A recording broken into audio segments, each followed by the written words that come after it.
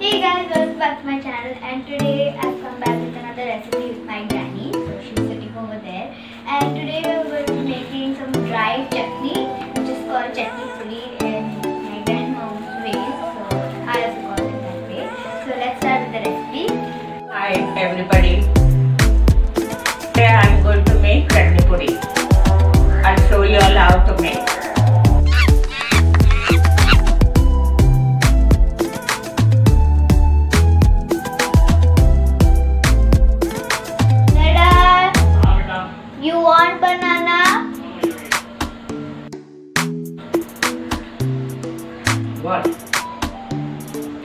Let it stay in the peanut.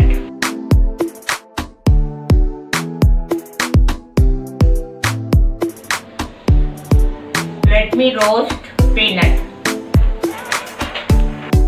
We have to roast garlic, uh, curry leaves, peanut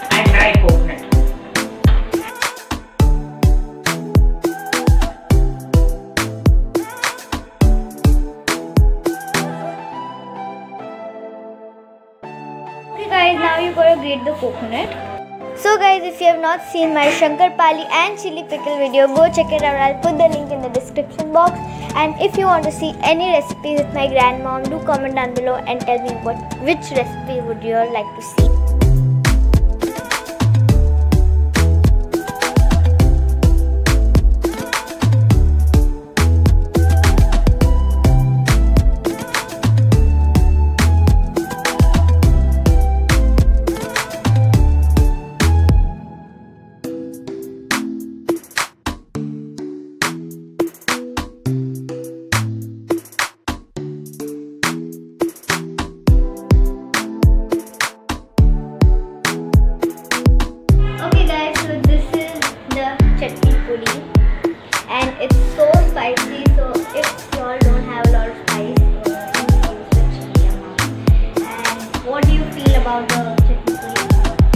How is it?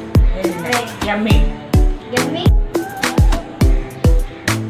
நல்ல chutney powder பண்ணோம் வேற ரொம்ப நல்லா இருக்கு Yes. So I ரொம்ப நல்லா uh, இருக்கு. I really don't know Tamil but I think I'll put the subtitles down. And also uh, you can eat this with anything like dal, rice, roti, you can add ghee and all, you know. It's super yummy. So this was our um, recipe. You had fun making